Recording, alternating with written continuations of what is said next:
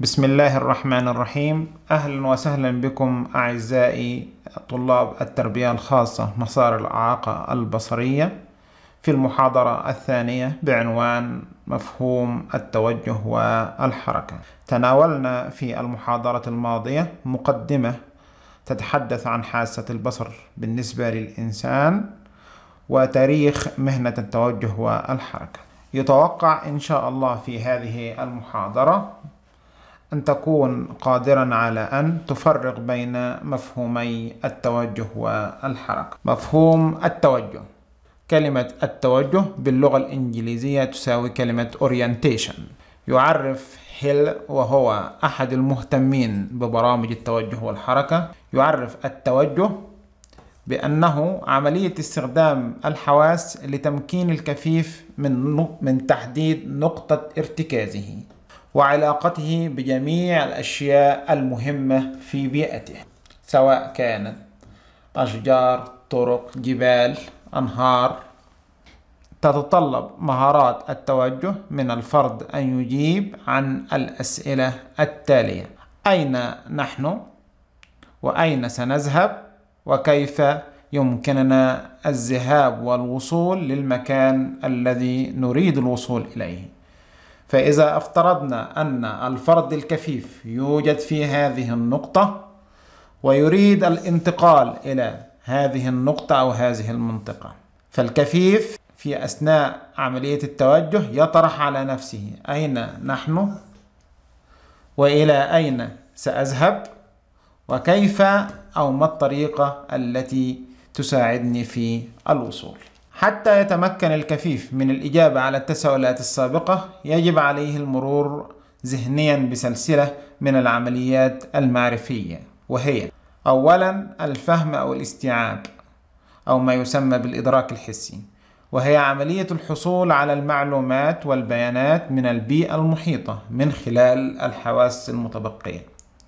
الكفيف لديه قد يكون لديه بقايا إبصار أو حاسة السمع. أو حاسة اللمس يستخدم كل هذه الحواس في الحصول على المعلومات والبيانات.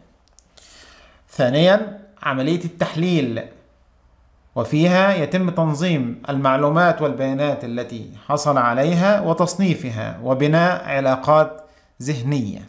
ثلاثة عملية الاختيار أو الانتقاء وهي عملية اختيار ما تم تحليله من بيانات لتلك التي تناسب ظروف البيئة المحيطة أربعة عملية التخطيط ويقصد بها تنظيم المعلومات على هيئة خارطة ذهنية.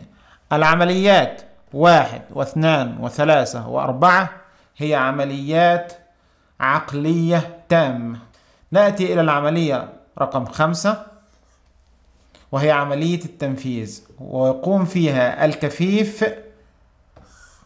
بأداء المهمة معتمدا في سيره على الإيماءات أو الإشارات البيئية المناسبة وعمليات الطريق عملية التنفيذ تمهد تمهد أو تعني دخول الكفيف في مهارة الحركة ما المقصود بالحركة؟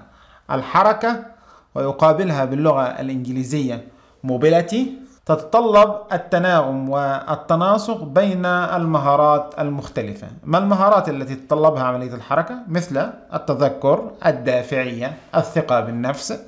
وكذلك بعض المهارات اللغوية واللمسية والبصرية والسمعية. لو نظرنا فإنها تحتاج إلى كل أو أغلب مهارات الكفيف المتبقية عملية الحركة ليست مجرد الانتقال من مكان إلى مكان آخر. بل يسبقها أو تتضمن عملية التفكير ومحاولة الربط بين مجموعة من العلاقات بين الأشياء والأماكن التي تتحرك فيها الفرد. ومن هنا تأتي أهميتها بالنسبة للطفل الكفيف. سهولة الحركة أو صعوبتها تؤثر بشكل كبير على مدى شعور الطفل الكفيف بالأمان. وعدم الخوف. لذا فإن حركة الكفيف تستلزم الكثير من الحذر والحيطة حتى لا يصطدم بالعقبات مما يستوجب رعايته أي الكفيف خارج بيئته. خلاصة القول عملية الحركة تحتاج من الكفيف حيطة وحذر وتحرك بهدوء. تحرك بهدوء. الحركة يعرفها هيل بأنها قدرة واستعداد وتمكن الشخص من التنقل في بيئته. إذا كانت عملية التوجه التي تكلمنا عنها سابقا تمثل الجانب العقلي فإن عملية التنقل تمثل الجهد البدني المتمثل في الأداء السلوكي للفرد وتعتبر مشكلة الانتقال من مكان إلى مكان آخر من أهم المشكلات التكيفية التي تواجه المعاق بصريا وخاصة كفيف البصر كف كلي. ولذا يعتبر إتقاني لمهارات أو لمهارة فن التوجه والحركة من المهارات الأساسية في أي برامج تعليمية تقدم للمعاقين بصريا.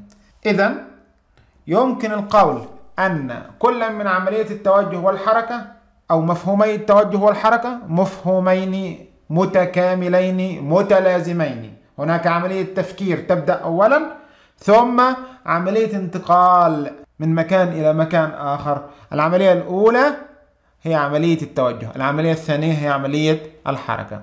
هذه الشريحة تعرض مقارنة بين مفهومي التوجه والحركة. ما المقصود بالتوجه؟ هي عملية است... عملية تعني استخدام الحواس لتمكين الكفيف من تحديد نقطة ارتكازه وعلاقته بجميع الأشياء. أما الحركة فتعني استخدام الشخص ومقدرته على التنقل في مجال ما أو في حيز ما. عملية التوجه تمثل الجانب العقلي وتحتاج إلى عمليات أو مهارات الانتباه والتركيز وإدراك العلاقات. عملية الحركة تمثل الجهد البدني والعضلي المبذول الذي يقوم به الكفيف. عملية التوجه هي عملية استعمال الحواس بهدف تحديد وضع الشخص في البيئة وعلاقته بالأشياء الأخرى. أما عملية الحركة فهي مجموعة المهارات الحركية التي يحتاجها الكفيف للانتقال في البيئة من مكان إلى مكان آخر. عملية التوجه أو مهارة التوجه تسمح للكفيف بالإجابة عن ثلاثة تساؤلات وهي أين نحن؟ وإلى أين سنذهب؟ وكيف يمكننا الذهاب؟ عملية الحركة تعني التنقل بأمان في البيئة الخاصة بالفرد. وشكرا لكم.